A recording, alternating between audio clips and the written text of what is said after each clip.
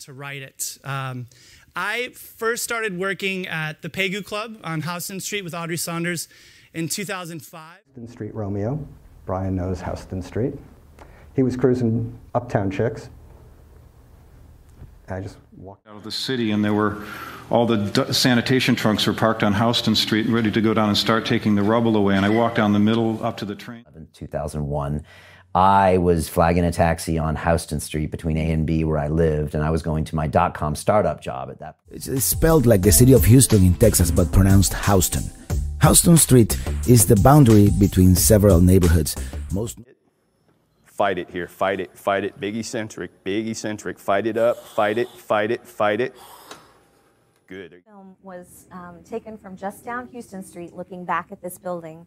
And there is a split second of footage that shows that.